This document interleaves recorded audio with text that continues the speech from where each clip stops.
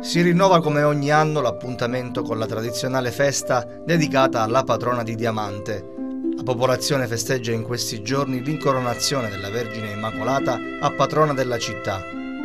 Il programma delle celebrazioni ecclesiastiche è iniziato lo scorso 3 agosto con il novenario e le meditazioni di fede, ma è domenica 12 agosto, il giorno nel quale tutto il popolo diamantese e i tanti turisti ormai legati alla tradizione cittadina porteranno in processione la statua della Madonna per ripetere il gesto dell'incoronazione avvenuto nel 1928.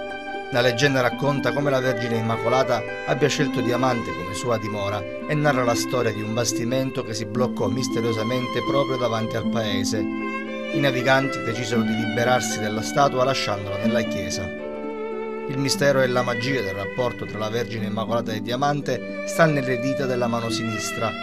La leggenda racconta che quando la statua entrò nella chiesa aveva le braccia incrociate sul petto la mattina dopo il parroco la trovò con tre dita aperte, un gesto che venne interpretato come segno di protezione da fame, guerra e terremoto.